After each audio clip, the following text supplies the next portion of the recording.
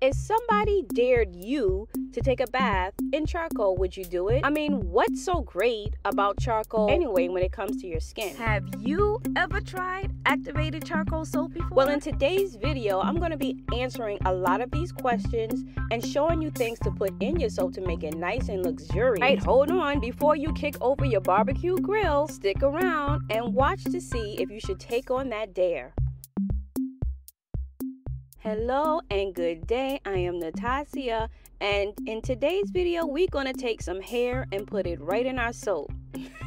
no, I'm kidding guys. This is actually Tussa silk. Tussa silk is a protein produced by a silkworm or a moth if you will. They leave their cocoons behind and they're collected and soaked and spun into these single fibers. The single fibers are then made into thread. There are several species of tussa silk moths, which are in China, India, Japan, Africa, and North America.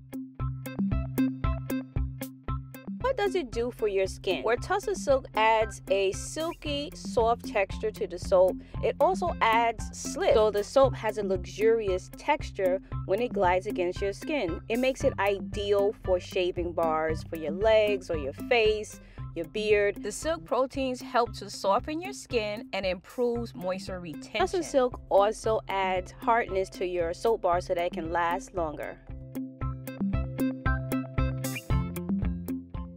This is activated charcoal or activated carbon or activated coconut carbon or activated coconut charcoal.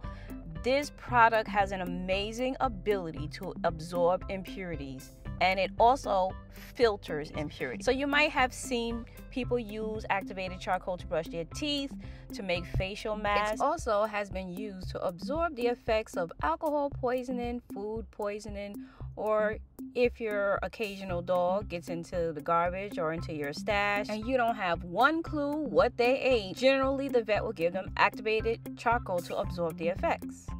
Activated charcoal also helps to deep clean, exfoliate, detoxify, and brighten pores while controlling acne, controlling oil, minimizing pores, and help to reduce the appearance of fine lines and wrinkles. Cinnamon Supreme is an excellent fragrance oil to use, guys. This end up smelling like baked Cinnabons. I'm paying special attention to not create any bubbles in the batter. Ideally, you want a smooth, rich, textured soap, and soap bubbles kind of ruin that. So earlier I mentioned don't kick over your barbecue grill, but guys, it's a totally different charcoal. Activated charcoal is actually made from charring bamboo, coconut shells, or even certain types of coal to create this product. So it's not the coal that you barbecue with, so please don't think you're cutting corners and get in your mortar and pestle and start grinding away. No, no, no, please don't do that.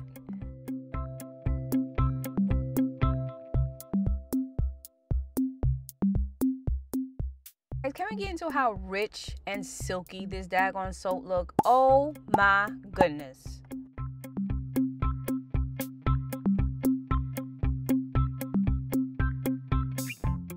This is the next day and I have to say I am anticipating how this is going to look because so far it looks good.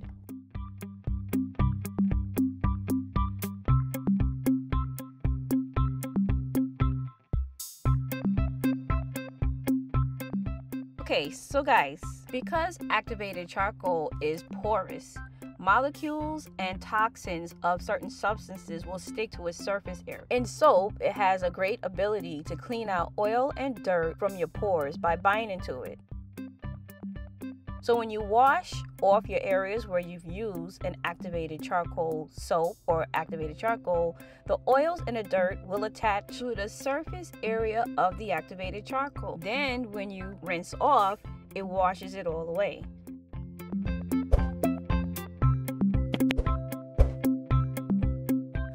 So who's ready for the soap cut?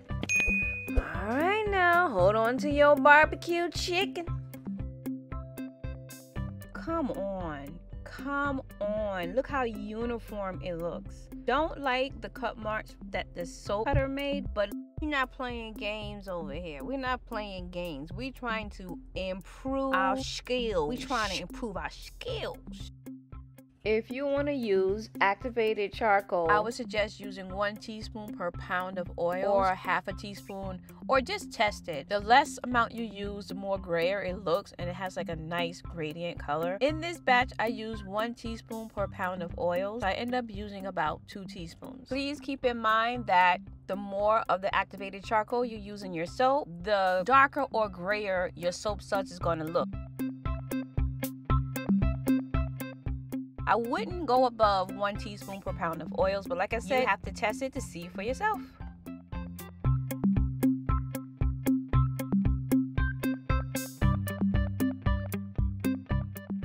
It's now time to do a lather test. How many you think that the water will turn black?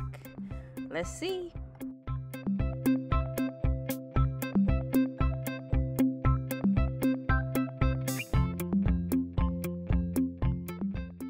I don't think so. It ain't turning black.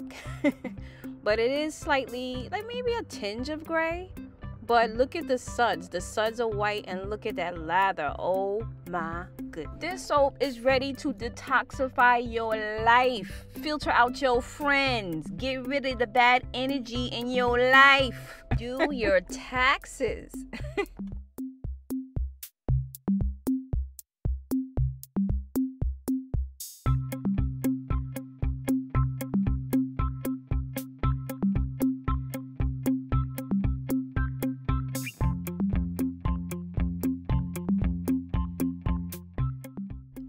So now we're about to accessorize. You got the black dress, you look cute, but you gotta accessorize. We about to dress up this soap, and the reason why I always like to include this in the video is so that you guys can see how it pulls together and look at that. It looks creamy, it looks uniform, it just looks awesome. I love beveling my soap. I love big soaps, I love tall soaps. This one is very simplistic you would think that it is an easy soap to make. You guys, it's not easy to make this soap because if you have a lot of bubbles in your batter, it's going to look like ashy. You ever see somebody who just wash their face and all around their lips are just white and ashy and on the on their chin? That that's how it look. It look ashy. It look dry. It just looks very dry. Oh goodness I did not want my soap looking dry. I wanted it looking juicy and creamy and rich. And I achieved that. And I love it. Now, ladies and gentlemen, if someone dares you to bathe in charcoal, would you do it based on this video?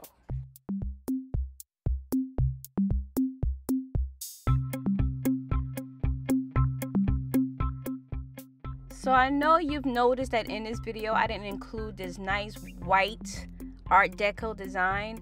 Guys, I'm going to be coming out with a series where I'm going to show you some of the tricks and tips that I do for certain soap designs. But in the meantime, again, protect your energy. Please continue to watch my channel and I appreciate you guys' time. Thanks for watching and I'll see you on the next one.